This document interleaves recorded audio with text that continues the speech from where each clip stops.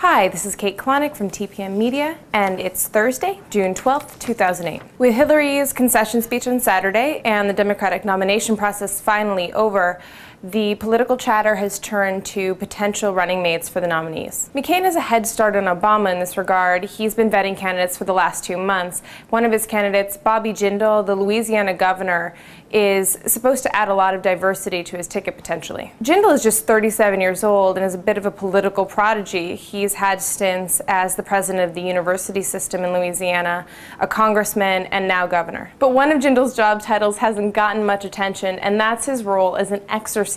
Damien!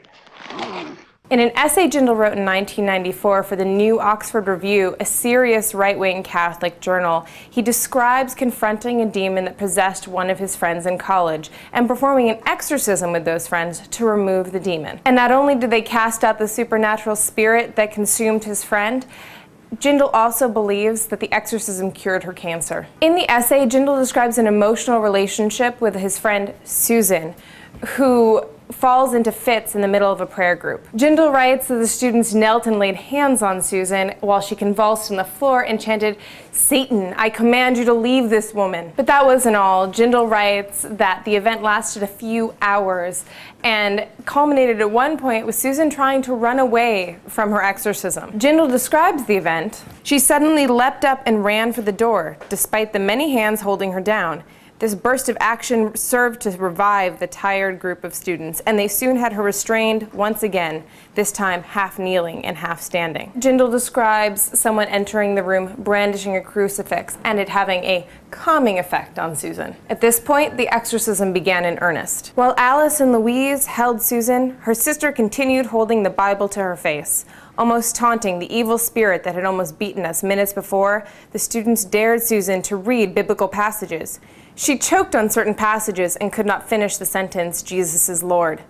Over and over she repeated, Jesus is, Jesus is, often ending in profanities. In between her futile attempts, Susan pleaded with us to continue trying and often smiled between the grimaces that accompanied her readings of Scripture. Just as suddenly as she went into the trance, Susan suddenly reappeared and claimed, Jesus is Lord. With an almost comical smile, Susan then looked up as if awakening from a deep sleep and asked, Has something happened?